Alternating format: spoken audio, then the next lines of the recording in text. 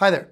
This video talks about setting up a room in the STEM Audio ecosystem. So once you've installed all of your devices, the only thing that's left to do is to set up the room on the actual platform. So the first step of accessing the platform is deciding how you want to do that. There's many ways to access the STEM Audio platform.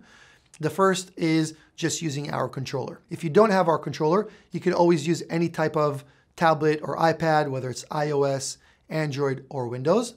And your last option is also just to access through HTML. So this is gonna be through opening any web browser on a computer. All you have to do is just punch in the IP address of any of your STEM audio endpoints, and that will gain you access into the STEM audio ecosystem. So once you've gained access, the first step is gonna be to go ahead and select the top right button, which says ecosystem. Once you click on ecosystem, go ahead and select rooms, which is gonna be the button all the way to the left. Now you're on the rooms screen, and this will show you all of the rooms in your organization. Since we're adding in a new room, go ahead and click on that add room button that's all the way on the bottom of your display. Name that room and click done.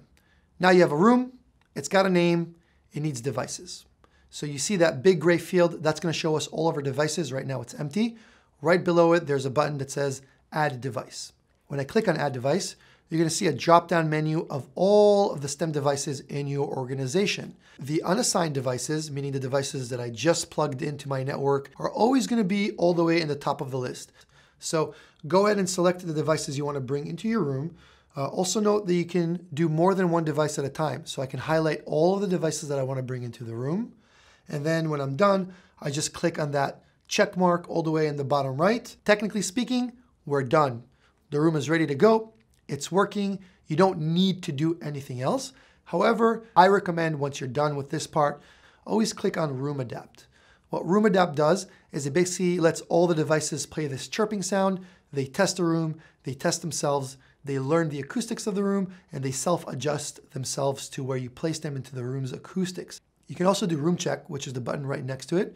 And what that's gonna do is it's basically gonna make sure that all the devices are operating properly. When you do room adapt, it also does room check in it, so you don't have to do both separately.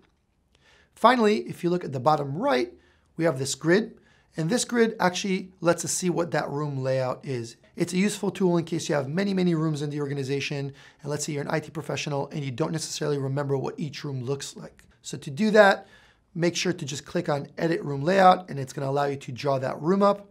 Another cool feature about this little room design grid when you do the layout is you can actually run room test in it and that's gonna allow you to see the actual heat map of the room coverage. So it's just another nifty tool that I highly recommend to do, but you don't have to do it.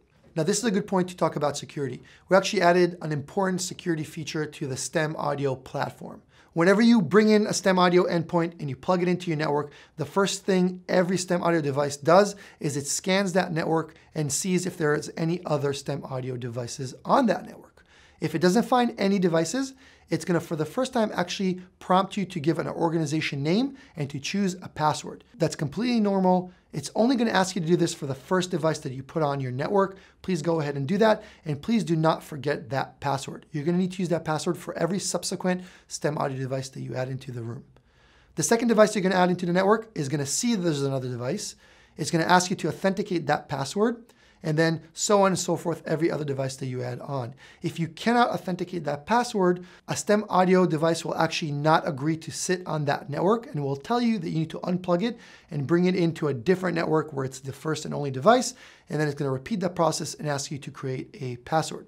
So this basically prevents an individual who's not authorized by you and doesn't have access to that password to add a STEM audio device into your network. Pretty straightforward and just another level of security that we thought was important for you to have. That's it, pretty easy. Doesn't take more than that. I hope this was helpful. Thank you for watching.